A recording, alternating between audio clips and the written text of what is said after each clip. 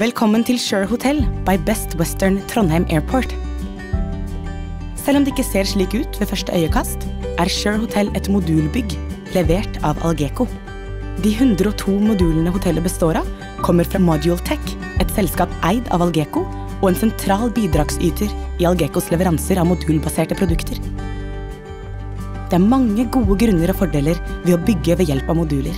Ikke minst når det er snakk om overnatting og hotell. Først og fremst sparer det tid.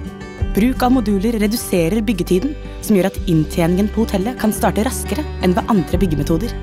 Et standard hotell i moduler har en prosjektfase på tre til åtte måneder, og tiden det tok å oppføre hotellet, var 70 dager. Og det reduserer kostnader.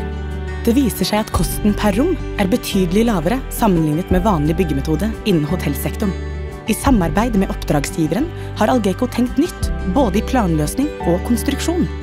Og et sterkt fokus på digitale løsninger, slik at det krever færre ansatte å drive hotellet i det daglige.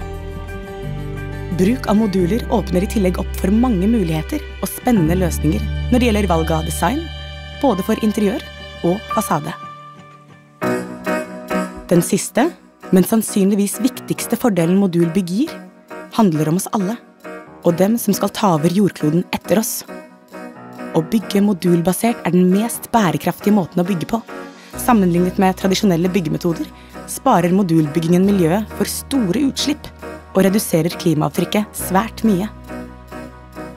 Alle moduler fra Algeco kan i utgangspunktet gjenbrukes, og Sure Hotel er heller ikke et unntak. Det er mulig å ta hotellet ned og sette opp på nytt, et helt annet sted i Norge. Algeco jobber kontinuerlig med å gjøre hele tilbudet vårt grønnere og klart for fremtiden med så lite fotavtrykk som mulig. Dette handler om tre enkle ting. Vi skal redusere utslippene våre, bruke modulene så mange ganger som mulig, og resirkulere de når livsløpet deres er ferdig. Reduce, reuse, recycle. Algeco. Vi skaper smarte rom hvor folk kan leve, jobbe og lære.